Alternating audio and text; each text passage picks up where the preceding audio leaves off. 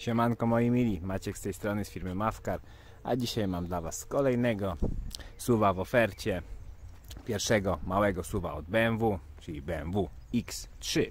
Tutaj mamy 2005 rok, to już jest wersja po liftingu, silnikiem jeszcze tym starym, dwulitrowym, nadającym się do założenia gazu, bez bezpośredniego wtrysku, na wtrysku zwykłym, z przebiegiem 242 tysiące. I ogólnie auto jest oczywiście w napędach 4x4, bo dużo suwów, tak jak wiecie, tych nowszych, jakichś sportydży i no na przykład już Tiguany nie wszystkie miały. No, więc to jest też duży plus dla osób, które potrzebują suwa nie tylko dla krawężników, ale tak samo na jakiś cięższy dojazd po jakiejś drodze lub też, no nie wiem, chcą pojechać sobie do lasu. BMK ładnie utrzymana, jest bezwypadkowa, tylko jeden jedyny błotnik ma podwójną warstwę lakieru, ale oczywiście jak nie będzie prysznica, bo widzicie zbiera się na burzę, to Wam zaraz tutaj dogram zmiernikiem lakieru.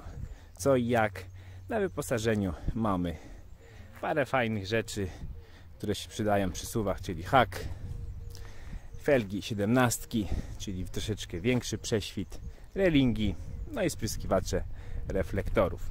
Technicznie powiem Wam auto bez zarzutu, z tyłu jest nowy tłumnik, tarcze z tyłu też są na pewno świeżutkie, bez rantu.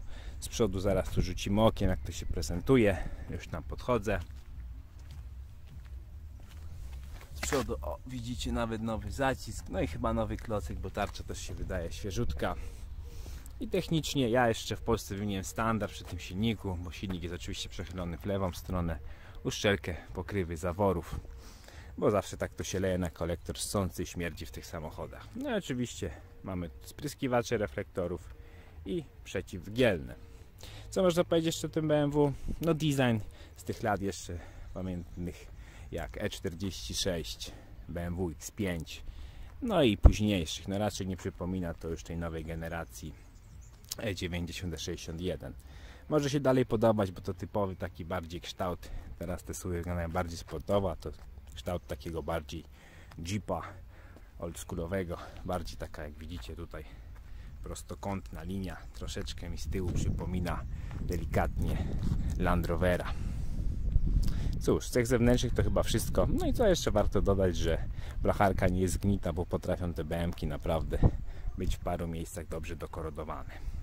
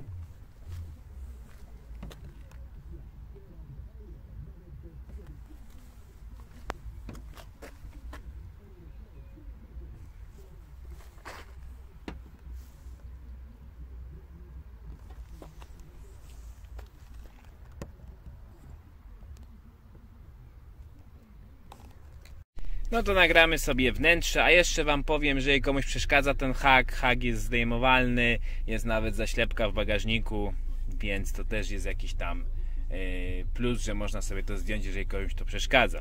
Książka serwisowa fajna, bo jest pełna i tak jak Wam właśnie mówiłem, no widać, że ten samochód był bezserwisowany do końca. Proszę, tu jakieś podstawowe wpisy, dalej 118, 134, fajnie, bo BMK ma wszystko mniej więcej na jednej kartce. Ktoś tam się stara, żeby to były te wpisy dość często. No i nawet spójrzcie, jeden był bardzo niedawno temu. To są te hamulce, bo już masz, tu, macie tutaj napisane bremsy, czyli hamulce.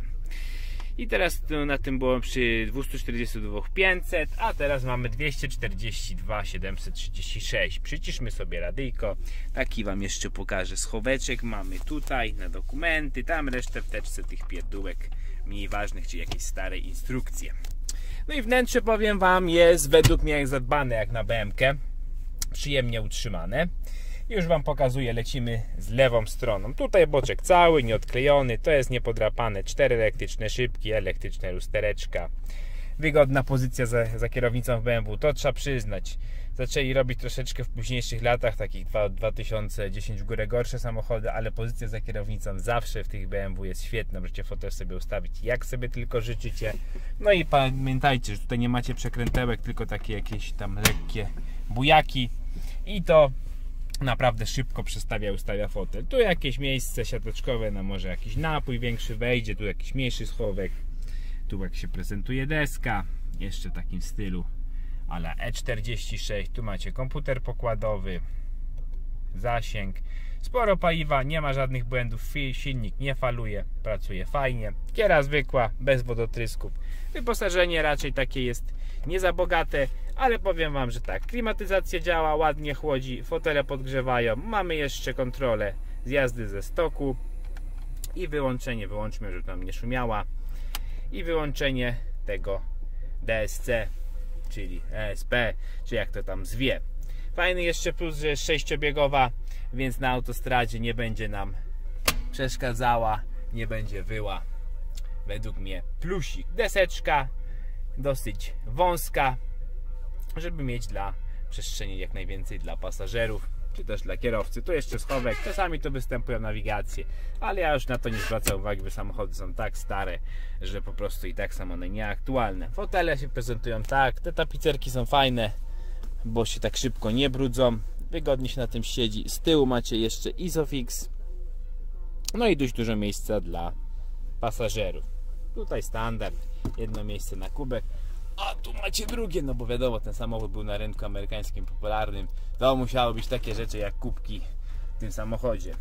No i coś jeszcze się dopatrzyłem, że w schoweczku mamy gratisy, stare jakieś płyty. No i tak widać, że poprzednim właścicielem raczej nie była osoba młoda, no bo tu mamy jakieś sity lat 80., czteropak. To już zostawiam dla najbliższego nabywcy. Niech sobie tutaj posłucha fajnej muzyczki. I teraz nie będę mógł tego zamknąć. Może się jakoś uda. Proszę, to zamykamy. No i tu jeszcze mamy tu mamy schoweczek, taki drugi Wam pokażę. Jak się uda oczywiście. Już to rozpracowałem oczywiście, żeby otworzyć ten górny schowek. Musi być zaczaśnięte, dopiero wtedy nam się otwiera tutaj. No i tu jeszcze mamy jakiś mały schowek na monety, na inne pierdółki. Pokażę Wam jeszcze boczek mój, nie jest zjechany tak samo jak i tutaj też jest dobrze utrzymany ten fotel. Ogólnie według mnie przyjemnie ten samochód w środku wygląda, bo wiecie, niektóre auta takie ala SUV czy 4x4 potrafią być naprawdę dojechane, no bo ktoś, nie wiem, bierze je na polowania, czy użytkuje naprawdę w ciężkim terenie, a tu widać, że po prostu ktoś potrzebował do normalnego, codziennego użytku. A no i taki jeszcze smaczek, nie każdy kto miał BMW wie, że możecie na przykład, nie wiem, w całym samochodzie ustawić sobie ciepłą temperaturę, a tutaj na twarz przekręcacie na zimne, no i żeby na przykład nie, widzicie w nocy was to nie usypiało, możecie sobie taki właśnie ala świeże powietrze ustawić. Cóż, chyba aucie to wszystko. Zapraszam Was do odwiedzania moich mediów społecznościowych, Facebooka, Instagrama, czyli mawkarauta, mojej strony Automoto, gdzie znajdziecie inne samochody, czyli to jest mawkarautomoto.pl. No i pamiętajcie, że każde auto u mnie jest opłacone, możecie sobie wykupić gwarancję do roku czasu. No i jeżeli nie macie tego auta, jak dostarczyć do domu w rozsądnych pieniądzach, wrzucam na lawetę i dowożę. No cóż, to by było na tyle. Pozdrawiam, cześć.